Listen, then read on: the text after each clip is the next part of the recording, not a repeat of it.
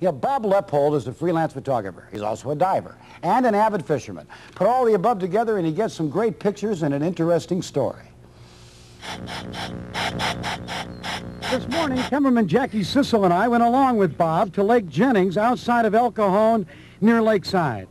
Bob would dive today, continuing his search for the big ones. You see, for one year now, Bob has been working on a video that he will call In Search of the Million Dollar Bass. Biggest I've seen on camera was a 16 and a half pound fish that we had hooked on at uh, Castaic.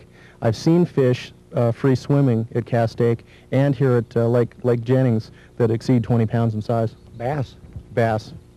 Bass. You wish you had your hook and, uh, and rod with you. Well, it's doing video work now, doing the production end of it. It's, it's, it, uh, you're so busy, you know, taking care of business. It, it is tempting to want to pick up a rod and reel and try to catch one of these fish, yeah. Trophy bass are not rare, oh. just hard to land. They're big because they're either too quick or too smart or both.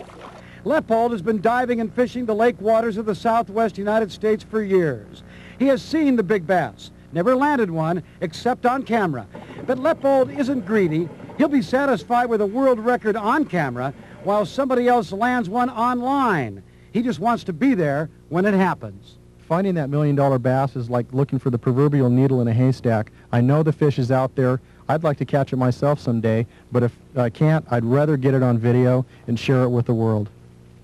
Mm. No, so that's, that's how he does it. He has seen 40 and 50 pound catfish underwater in lakes around this area with his camera. Deep underwater. Yes, deep underwater. All right there.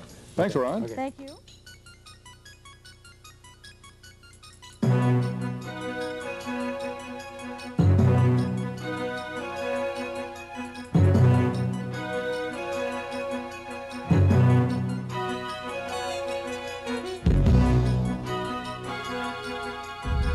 In other words, folks, if I wanted to catch a big fish in the summertime, I wouldn't be, I wouldn't be using a uh, rattle trap in that deep water.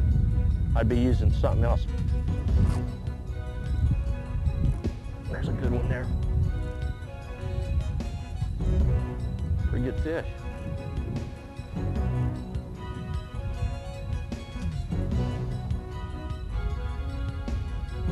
Got a little grass. I got her down in that grass.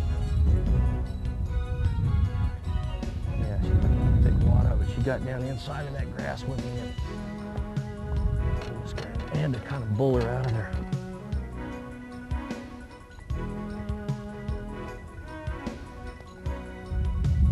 She's a pretty fish. She's post-spawn. I think she's already spawned. We'll go ahead and release her. See, you can see this hair moss that she got down in some hydrilla that has this hair moss on it. Kind of bulled up down there. I'm going to go ahead and turn her loose and get back after it again. Maybe we can catch a,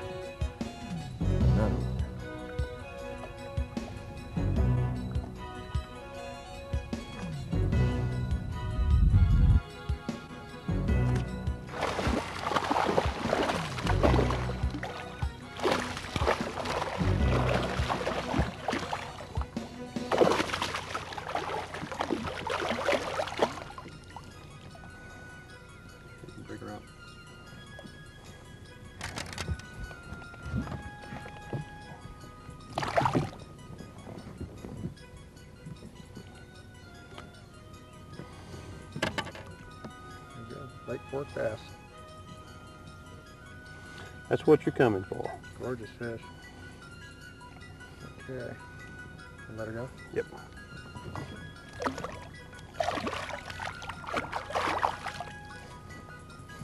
I think that's a fish there. Oh, that's a good one.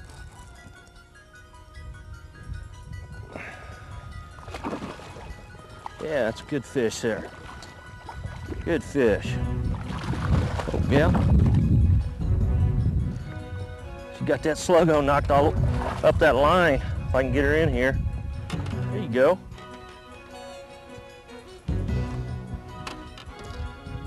That's pretty nice Lake Fork fish. We catch a lot of these. This is a typical sluggo fish.